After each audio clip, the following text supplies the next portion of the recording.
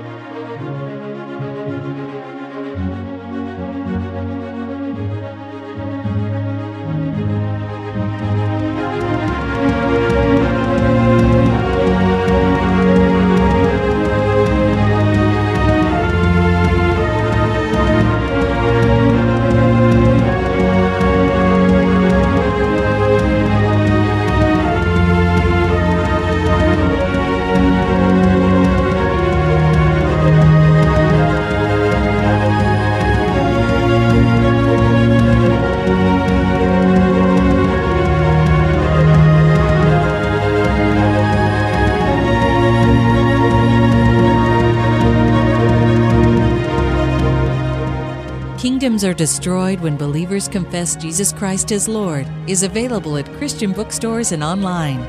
Purchase it today.